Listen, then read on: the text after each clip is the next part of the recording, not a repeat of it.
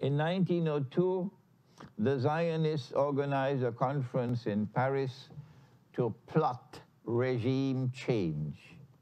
They wanted the Ottoman Empire to have regime change. Why? Because the Ottoman Empire controls Jerusalem, controls the Holy Land. And the Zionists want a state of Israel in the Holy Land, which will eventually rule the world. They plotted, therefore, in 1902 for regime change in the Ottoman Empire, in Constantinople. In the same year of 1902 that they were plotting the destruction of the Ottoman Empire, they had Dajjal sent Abdulaziz ibn Saud to Riyadh to take control of Riyadh so that a state of Saudi Arabia could eventually be created to replace the Ottoman Empire, controlling the world of Islam on behalf of Dajjal. That was 1902. In 1907, again plotting for the destruction of the Ottoman Empire, Britain and France embraced Russia in a triple alliance. But Russia was always the enemy. How come you now want friendship with Russia? Why? Because they need people to fight the Ottoman Empire. The Ottoman army is a powerful army, and they want to use the Russians as guinea pigs, the way the Indians are today being used as guinea pigs. And what, how will they get Russia on their side? They use a bait. They offered Russia Constantinople. The Ottoman Empire is a sick man of Europe. When the Russian, when the Ottoman Empire collapses, we, Britain and France, promise you Constantinople. And Russia fell for the bait but not anymore.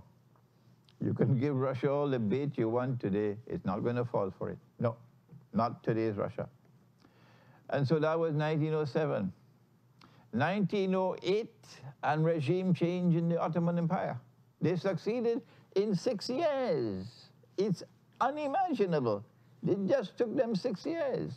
In 1908, regime change in the Ottoman Empire, and the the so-called Islamic government is replaced now with a secular government, the Young Turks. The Young Turks who will now do things that the Muslims would not do.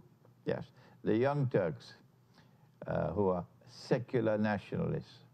That was 1908. And now they prefer, the, the new government in the Ottoman Empire is waging war on Islam. They need this. Why? They need a godless government in Constantinople. Why? Answer, because they want the Arabs to turn against the Ottoman Empire. They want the Arabs to fight with them to be able to defeat the, uh, the Ottoman troops in the Holy Land. That's why they need a godless government in Constantinople. We know your plans. We've understood you very well, and we're teaching our people now. This was 1908. And then finally, in preparation for the Great War, which we know is coming in 1908, as today we know another Great War is coming. But there are those who eat biryani and go to sleep. They don't care. Leave them. In 1913, they did something very extraordinary in the world of money. They created the Federal Reserve Bank in the United States of America. It's a private bank. And the Federal Reserve Bank will now issue US currency notes. And the US currency note will say, in God we trust. But these fellows are very clever. Very, very clever. The Federal Reserve mm, mm, Bank is created because they need to finance the war which is coming. They need to be able to get a vast amount of money to finance the war which is coming so they can conclude this mighty war, this first world war in history, quickly. And the only way you can do that is with bogus money. So the Federal Reserve is going to be allowed to print paper, issue paper, and you don't have the gold to back it. Remember, the government of the United States of America is on is, is contractually obligated that 20 US dollars is worth one ounce of gold. So you're not supposed to print more paper than you have gold. But where is the policeman to check? No. So the United States can print paper, and Britain and France can print paper in order to be able to finance the war. When Germany attempts to do the same thing, they know how to bring down the German mark the way the Venezuelan bolivar today is in no man's land, and the Pakistani rupee, and the Algerian dinar, and the Bangladeshi taka, and the Serbian dinar, etc. So the German money is in no man's land, finished, but they are printing paper to finance the war. This is 1913, remember. The Federal Reserve Bank is established. The body of Pharaoh was discovered just about 15, 16 years ago. And by 1913, the Federal Reserve Bank is established. The Great War began in 1914. What was it? In the city of Sarajevo, uh, the Archduke Franz Ferdinand is on a state visit of Sarajevo and he was assassinated by a Serbian nationalist because the Ottoman Empire has been waging unjust war on the uh, Orthodox Christians and uh, there is also uh, Roman Catholic versus Orthodox Christians rivalry in the Balkans. And this led to the assassination of the Fran of Franz Ferdinand, the Archduke of Austria-Hungary, in the summer of 1914. And this eventually led to the First World War.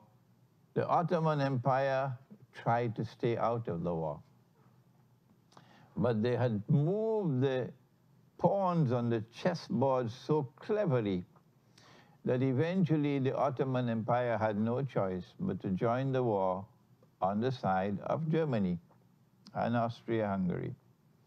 And so on the one side you have Russia allied with Britain and France in a mysterious triple alliance, and on the other hand, you have Germany, Austria-Hungary, and the Ottoman Empire waging what is known as the First World War. When this war was going on, uh, it appeared that Germany would win the war because the Germans brought a new weapon of war, never used before, something called a submarine. And uh, the Germans were able to maroon Britain, and Britain was losing the war. It was at that time uh, you had British spies in Arabia, and you had uh, uh, Jewish forces at work in the United States of America. On the one hand, the British spies in Arabia would take, took money with them to bribe the Arabs to join with them. Uh, Sharif Hussein, who is the great-grandfather or the great-great-grandfather of the present king of Jordan, was appointed as Sharif of Mecca by the Ottoman Khalifa. Uh, he took seven million pounds from the British treasury to betray his Muslim brothers. And Abdulaziz ibn Saud, I think he was given 500,000 pounds a month, something like that. I can't remember the figure. But they bought them both. And on the other side of the Atlantic Ocean now, you have the, the Judeo-Christian alliance trying to get Britain, uh, United States into the war. It was at that time that the Jews got Britain to agree that if you will promise to give us Jerusalem, we will get the United States into the war. Oh, but Germany had been exceptionally kind to the Jews. How could the Jews betray Germany like this? The Germans never knew about this until afterwards. Yes, Britain then responded and issued the Balfour Declaration in 1917, uh, promising the Jews, the, the, um, Zionist uh, movement, uh, a holy, um, a, a Jewish national home in the Holy Land. This is the Balfour Declaration of 19, October 1917. One month later, the British Army, supported by thousands of Arabs, were able to defeat the Ottoman Empire uh, army and Jerusalem was liberated for the Jews. And then the British general declared, today the Crusades are over. The same month, or maybe it was October, a third thing happened, and that is that Russian troops are only one arm's length away from Constantinople. Britain and France had promised Russia you'll get Constantinople, but they were giving a promise that they never intended to keep. That's their way. The British way and the French way is to tell monstrous lies and to deceive. That is what they have left be behind them in history, that they are liars.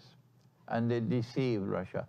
When the Russian troops were one arm's length away from Constantinople, then the Russian Jews acted. And they brought about regime change in Russia. It was called the Bolshevik Revolution. And they killed the entire family of the Tsar, took over Russia, and then proceeded for the next 70, 80 years in waging war on the religious way of life to destroy Orthodox Christianity. These are all facts. My, Christ my critics can do what they want. I am giving you facts. These are things that actually occurred.